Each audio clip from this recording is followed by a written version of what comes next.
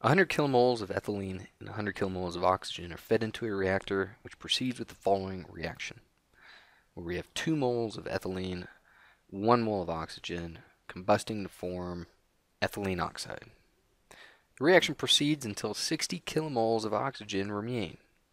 So which of the following is true about the fractional conversion of oxygen, denoted as F of O2?